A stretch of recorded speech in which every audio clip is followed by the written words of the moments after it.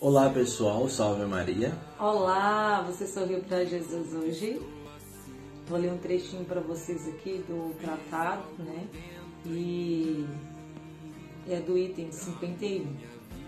É principalmente a essas últimas e cruéis perseguições do demônio, que se multiplicarão todos os dias, até o reino do Anticristo que se refere àquela primeira e célebre predição e maldição que Deus lançou contra a serpente no paraíso terrestre.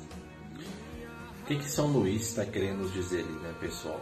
Ele está querendo dizer que aqueles realmente filhos de Maria, os apóstolos dos últimos tempos, consagrados, devotos a ela, devem lutar contra tudo aquilo que o demônio odeia. O demônio odeia a vida, o demônio odeia a família, o demônio, é, enfim, é, faz de tudo para que tudo aquilo que Deus criou, tudo aquilo que é bom, tudo aquilo que reflete ou de alguma forma indica a beleza que há no nosso Criador seja destruído. E por isso ele vai lançar várias perseguições, várias coisas sujas nos últimos tempos, preparando sim para que o anticristo venha. Isso é muito importante no momento que estamos vivendo, por quê?